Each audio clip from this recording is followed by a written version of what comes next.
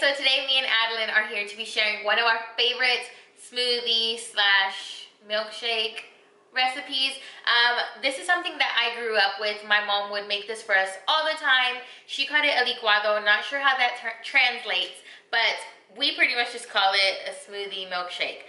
Um, so I am so excited. We are going to be using the Cosori blender and I'm going to link this down below for you guys.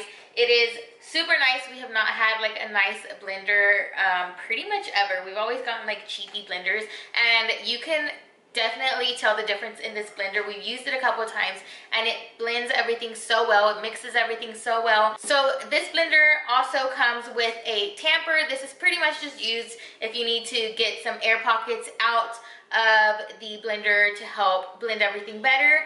And it also comes with a travel mug which is super awesome because you can make a smoothie pour it in here and you're on the go. It also comes with a, recipe book full of smoothies and salsas and a bunch of different recipes that you can do. Like i said today we're going to be doing something that i grew up drinking. It's super easy and the kids love it. You love it right? When mommy makes it? Yeah Adeline's gonna be helping me today. The key features of this blender is the variable speed control. You're able to change the speed according to um, how you wanna blend it, low speed or high speed. It is, it has a pulse function. So if you just need to pull something for some salsas or something like that, that is an awesome plus.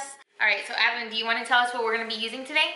So we're gonna be using ice, banana, milk, and... Can you lift it? Yeah. And some sugar. We try not to add a lot of sugar, but the kids like it a little bit sweet, so we do add a little bit of sugar. You ready? Mm -hmm. You ready to show them how to make it? Uh -huh. Yeah. So the first thing we're gonna do is add the milk. So I'm gonna add some milk. You don't need a ton. I kind of just eyeball it. Let's see. So I added a little over a cup of milk and now Adeline's gonna add a whole banana in there. You put it in there. Now that we've added the banana and the milk, we're gonna add some sugar. Like I said, the kids like things sweet. I know my head's cut off. Um, the kids like things kind of sweet. You don't have to add like a lot of sugar. I'm gonna add um, about almost a tablespoon, um, a little bit less than a tablespoon and that should be more than enough. Usually the bananas are sweet enough, but if they're not super ripe, they're not super sweet. Sometimes we add an egg. I'm not adding an egg today, but we are adding some ice. So Addie, go ahead and pour the ice in. All of it? Not all of it, maybe like half of it. That's probably good. Okay. And now we're gonna blend it up. You ready?